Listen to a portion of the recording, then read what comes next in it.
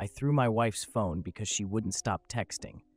Story Still at the cottage, and my wife isn't talking to me. It's not even our cottage, it's my parents, and we were supposed to be here to work on our marriage because we've been having issues. Not huge issues, but issues. Nobody's cheated or gambled all our money or anything, but she couldn't stop messaging her writing friend. All they do is talk about their characters or role play them with each other. My wife is looking for a serious career in writing, and she is a great writer, but this is literally just for fun. She's never going to publish this gay dark academia borderline fan fiction she's writing, and she knows it. This isn't my opinion. She said this. I mean, I would still be pissed with her working while we're supposed to be spending time together, but this is worse. I told her I wanted her to focus on me and our relationship, and she said she would. She's just had a new stream of ideas she can't control. Which again, I could excuse if this was publishable stuff, but it's just her and her friend pretending to be two university students in love. But I did something really crappy. I tried to initiate with her last night, and she rejected me. Which is fine, because obviously, nobody's in the mood all the time, but then she just went right on her phone role playing these guys. I grabbed her phone and threw it out the window. The phone is fine. She has a good case, which I knew, I wasn't trying to break it, but she called me a piece of crap and a ton of other things and isn't speaking to me today. I know, no matter what, I'm the a hole in all honesty. I'm just curious over whether this is an everybody sucks situation or not, and I have nothing else to do because she won't talk to me. Response 1 But it's just her and her friend pretending to be two university students in love. Everyone sucks here is more so though I understand the frustration but but tossing the phone out of the window was a little over the top.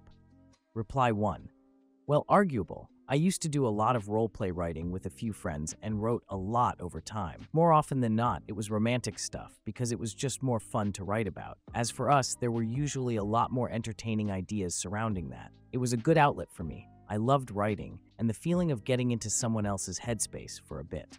That said, in my experience, though it by no means whatsoever refers to everyone into RP, toxicity was commonplace, especially in large communities. Eventually, it got so bad that I ended up only ever writing with two good friends at the time. Good friends because I trusted them to keep the drama low and to value our friendship over writing.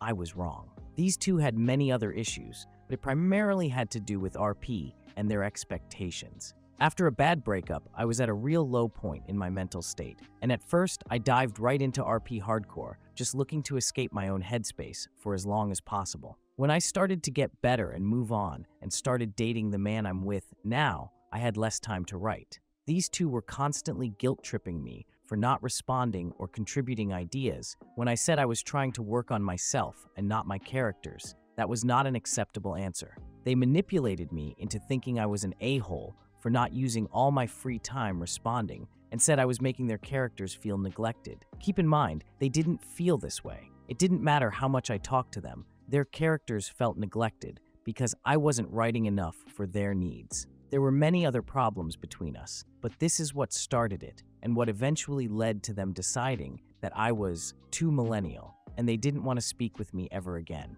In the middle of the night, after not talking for a while, I got a message from the one I was closest to that was a long winded goodbye that made me feel like absolute shit for having my own life and trying to better myself.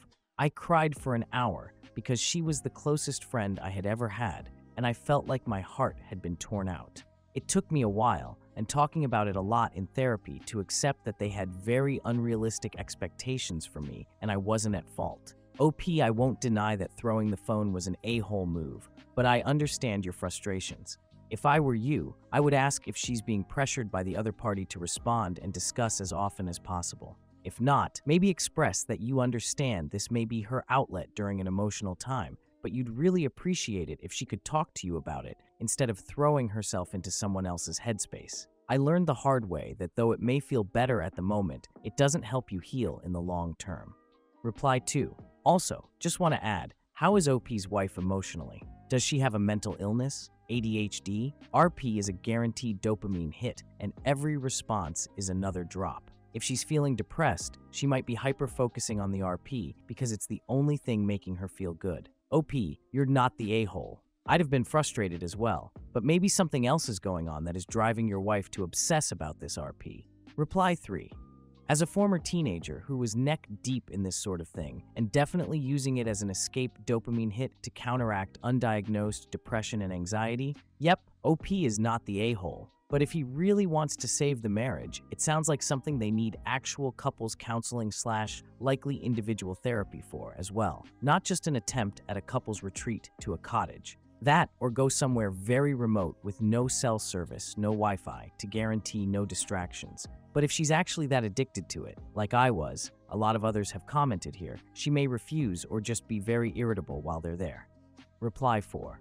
Role playing romantic stuff when you're just platonic friends is very common. I did it all the time when I was 12 13, and it turns out I'm aromantic as hell. The best way I can explain it is that most role playing characters, with the exception of self inserts, don't represent who the person role-playing them is. You tend to view them like an OC or a D&D character and not me. There's a detachment there. So when doing romance roleplay, it's not I'm in love with my friend. It's character A loves character B. It's like living vicariously through fictional characters. This same sort of thing can extend to erotic roleplay, though it's less common, I think. I've never done it. Like getting off to the fictional character or the scenario rather than the real person. Granted, if somebody's doing erotic roleplay, there's more likely to be some sort of attraction at play. I'm not as familiar with that scene. I'm asexual AF. Reply 5. Not the a-hole. Creative writing aside, she agreed to spend time with you to work on y'all's relationship. She did not do so. She's emotionally cheating on you at the least. Yeah, it was petty to throw the phone, but what is worse than that is your girlfriend lying about wanting to salvage the relationship. Actions, dude. I have a passion for writing, especially creative writing. But if the side hobby started affecting my relationship, I'd put effort into prioritizing my partner, with the assumption I cared about my relationship, that is. You can read all these comments about everyone's own personal experience with role playing. Yeah, sure, but that still doesn't excuse her actions. If she respected you and your relationship, she would put actual effort towards it instead of empty words. Think about it, man. Good luck. Response 2. Everyone sucks here. You for the phone incident and likely misinterpreting intimacy signals, and her for not being honest that she doesn't value the marriage. She's not into you. Reply 1. This. I'm a full-time writer, and while it's easy to get a plot bunny brain, it doesn't require texting all of my friends. At worst, I tell my husband, hold on, let me jot this down, and then turn back to him. I would never ignore him while on a vacation. That's rude, no matter what. It's understandable why this marriage is on the rocks. Reply 2. Just here to say that's not necessarily the case. I write and roleplay. It never means I'm not into my spouse. It just means I'm coping with something if I'm immersed in it like this. For some, it's a coping mechanism and a sense of control when we otherwise don't. It's also a huge hobby, and she shouldn't be made to feel crappy for her hobby. However, it is affecting her marriage even when she's meant to be working on it. I get his frustration. Reply 3.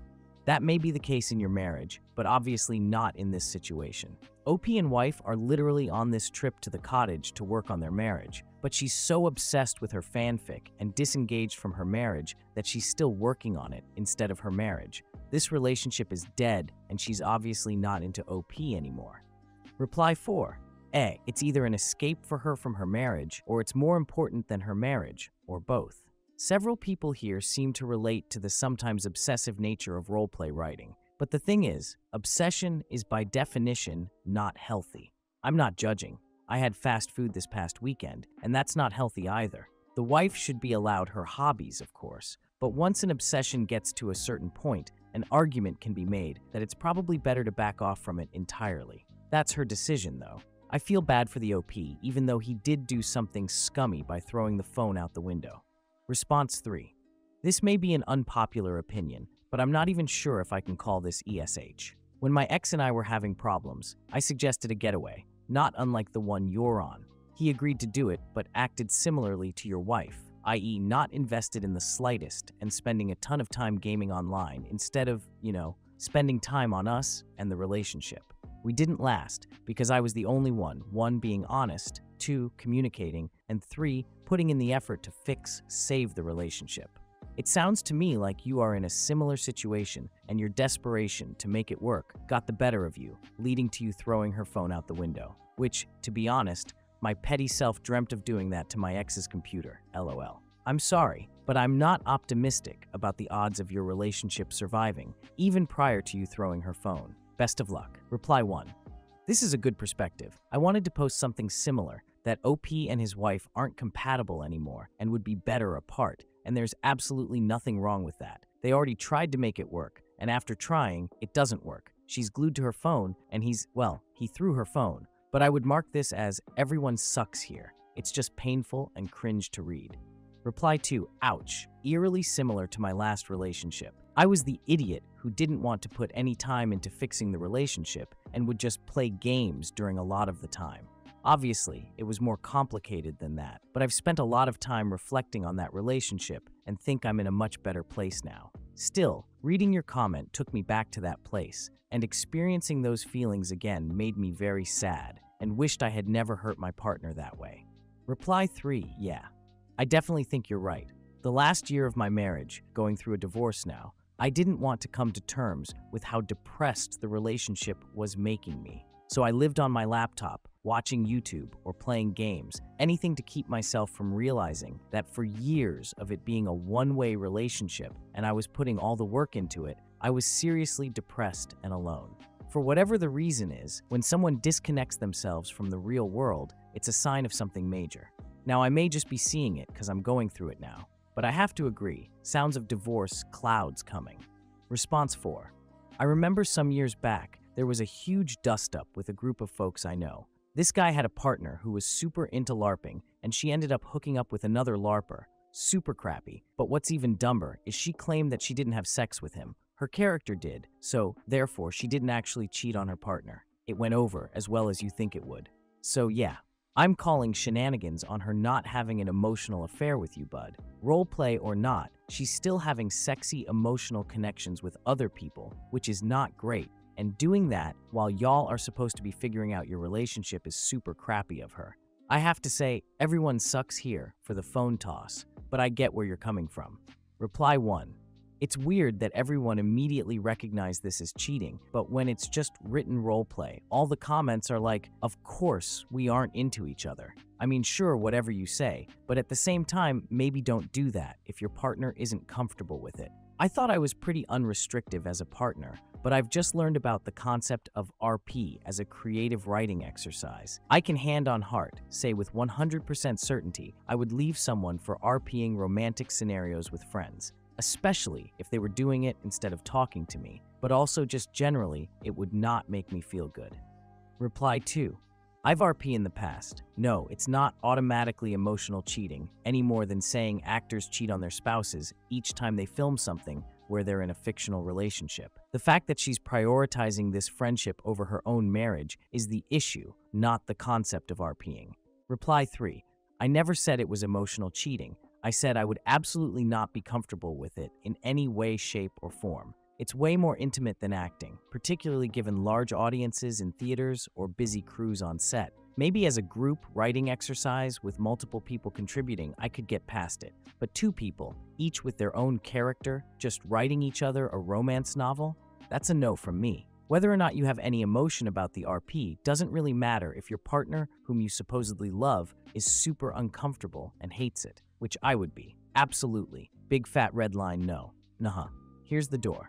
Reply 4, I mean, my best friend of over 10 years, roommate of 8, and I RP stuff via text Discord all the time. She's ace, and I'm not remotely attracted to her in any way, but neither of us has the time or energy to actually write like we want to, whether it be fanfic or original stuff. So RPing is a way to get some ideas and creativity out. Sometimes that does include porn, just because we both like writing it. IDK, to us it's not any different than sitting around the table for D&D and having romantic subplots with people who aren't your IRL partner. It doesn't instantly mean someone is cheating or having an emotional affair. However, the wife here definitely sucks, just for not paying any attention to her husband on a trip with them. Response 5. Is this friend someone that she could be romantically slash sexually attracted to? If it was a casual text during the day, then I would call you the a-hole. In this case, having her texting sexual content to someone after showing a lack of sexual interest in you is making me see red flags. Dropping her phone out the window is childish, but I don't blame you for being upset. This could be an emotional affair. Everyone sucks here, and good luck. Reply 1. Yeah, she could be. It does feel that way sometimes, but she gets really upset when I say it. I know they're just characters, but it feels really weird to know my wife is role playing sex with another person. I've brought up emotional affairs, but she says it can't be because it's not them, it's their OCs. I don't know anything about writer culture, so it always feels like I'm being unreasonable, but I don't know. Reply 2, writer here. I refuse to do sexual role plays with any characters, original or fanfic, because to me, it is emotional cheating. There's a lot of myself in my writing, and it makes me deeply uncomfortable to be writing things like that with anyone but my partner. Please, don't write off your feelings just because you don't participate in the same hobby. If it's bothering you, it's worth figuring out why and addressing it, probably with professional help at this point. Also worth noting, it almost sounds like borderline addicted behavior, maybe something to look into slash ponder. Reply 3. I used to roleplay with my online friends in the exact same way your wife is, and if you're in a relationship, then it is emotional cheating. People will always use the excuse of, it's not us, it's our characters, but my experiences of writing roleplay erotica had an actual effect on me, both good and bad. If the other person's character was doing something I liked, it aroused me. If they were doing something I didn't like, it would make me feel gross or uncomfortable because that's exactly how it would have made me feel if it was happening in real life. People will get up in arms about this and deny it until they're blue in the face. But there is a kind of intimacy that's inherent with that kind of writing. And 9 10 times roleplay sex isn't happening for any kind of plot continuity. It's because the people writing it are getting hot and bothered about it. Granted, saying it's not us, it's our characters does have a grain of truth about it, because any feelings are usually directed towards the character and not the person writing for them. But it doesn't change the actual dynamic of one person writing smutty content that arouses the other person and vice versa. ETA. Everyone sucks here, but your only fault was throwing her phone, and I'm sure you don't need us to tell you that there was a better way to address what was going on. Reply 4. I think it probably depends on the person. I don't do RPing online, but I have written with people, and I've known RPers. It seems like it's like anything else that involves any form of intimacy. Sometimes platonic and creative intimacy stay separate, and sometimes they bleed. IDK, even with the sexual stuff, sometimes people are RPing the character they're attracted to. This is suspicious, but it's not the only kind of RP relationship. Response 6. Listen, as a former huge ass nerd that used to roleplay as characters over text with my exes, I can promise you, she's absolutely in the mood. In fact, she's extremely in the mood, just not for you. Sexual roleplay is extremely, you know, sexual. The amount of detail you can get into like that, it's like sexy, dirty talking with someone when you're away from them. It's very hot because you're still engaging with someone, physical or not. Yeah, don't throw away someone's phone. That's a really bad reaction because it can seem violent. Throwing crap is a great way to get a story turned against you really quickly. But what are your girls doing? Yeah, it's not writing, it's screwing, digitally, constantly. It's an emotional affair and what I would constitute the beginning of an actual affair. I'm not even going to give you the everyone sucks here ruling because you obviously didn't even realize what was happening. I'm sorry, man. Good luck. Reply 1. As a current huge ass nerd that role plays over text with friends, sexual RP is not always and automatically screwing. My partner of 11 years and I both RP smut with other people, and neither of us is having an emotional affair. Do I find what I write with my smut buddies hot as hell? Hell yeah. Does it mean I want to screw them or leave my girl for a relationship with them? Hell no. Now, OP's wife probably is engaging in an emotional affair, but not because she's writing porn with someone else. It's because of her behavior with her husband and her obvious emotional disconnect from both him and the relationship. She could be writing the purest, chaste domestic fluff or slice of life gen stuff with her RP partner, and her behavior here would still indicate a problem in their relationship. Reply 2. It sounds like something that is a boundary that varies between couples. You and your partner are fine with it, but it sounds like it's an issue for OP. I probably wouldn't be comfortable with it and would most likely set a boundary in relation to it myself if my partner were into RP. Reply 3. This is exactly what I was going to say.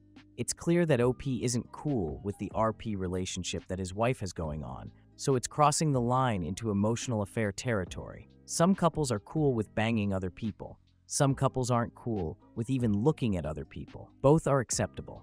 What has to be respected is the boundaries put in place by both people in the relationship. And if those boundaries aren't compatible, then the relationship isn't compatible. Clearly, OP and his wife need to seek professional help or just end it. Response 7.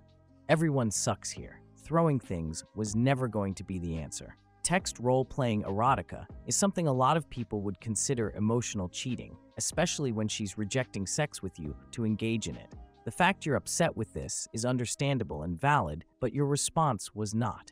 The she's never even going to publish it stuff is very silly. Dark academia is very popular now, and depending on how they write, it's likely to be publishable and potentially popular. But the way she is choosing to engage is not alright. Reply 1 Yeah.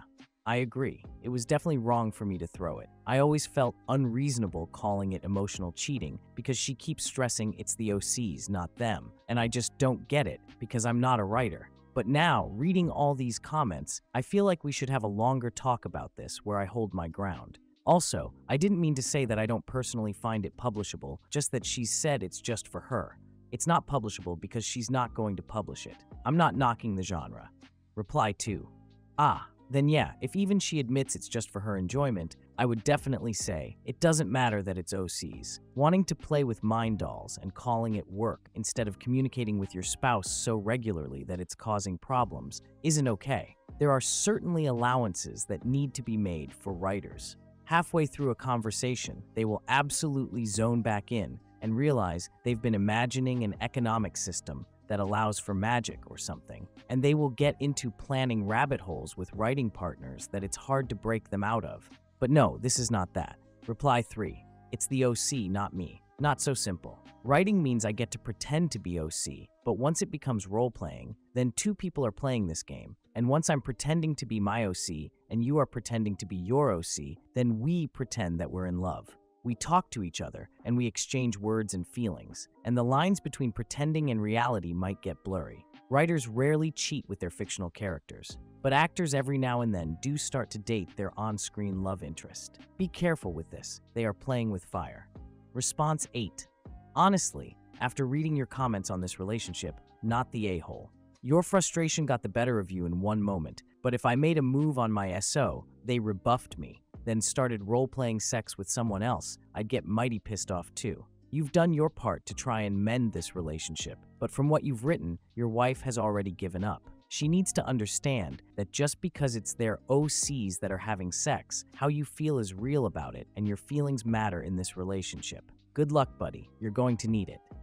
Reply 1 100% this. Your frustration is understandable, still not an awesome reaction, because your wife is cheating on you. She even has a way that she can do it, right in front of you, that she's convinced you is normal. The only people defending her are people whom both parties understand or are involved with this activity, which makes sense as they can have proper boundary setting discussions about it, or people who are actively doing the same things to their partners, counseling or ending it. This is not going to get better for you without a drastic change in her behavior, which from your comments seems unlikely. Not the a hole, Reply 2.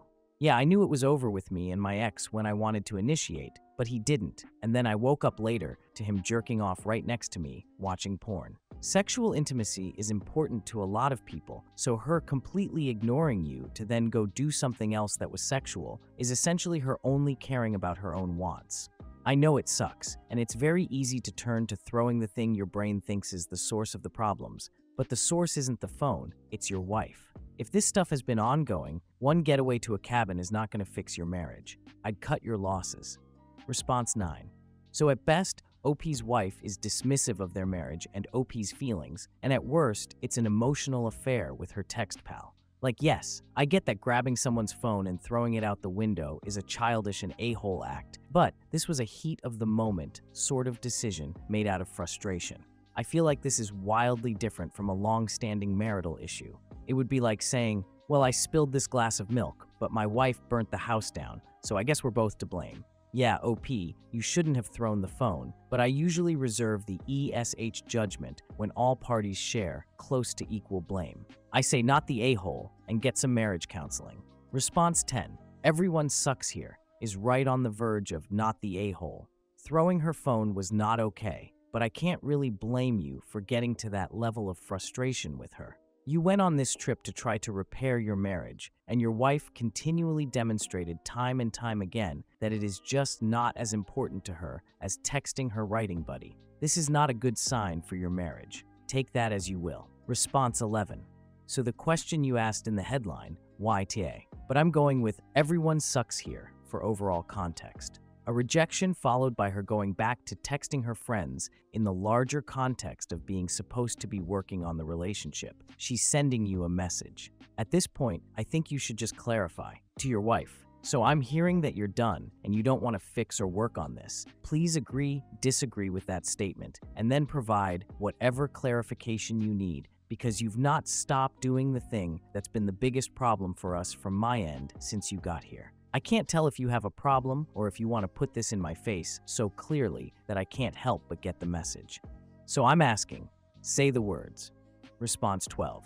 Everyone only focuses on him belittling her hobbies when he has said she's a good writer, but also everyone ignoring this woman being so disrespectful and dismissive of her relationship with him, to the point she's even cheating on him in front of him, is so ridiculous. Some of y'all need to get your double standards checked out. I by no means agree with physical aggression, but she is in no way in the right either. OP, just get out of the relationship at this point. Trying to fix it will only be a waste of both your time and money paying for couples therapy. When it comes to a partner emotionally or physically cheating, it's just better to end the relationship. Without trust, a relationship is just a waste of time.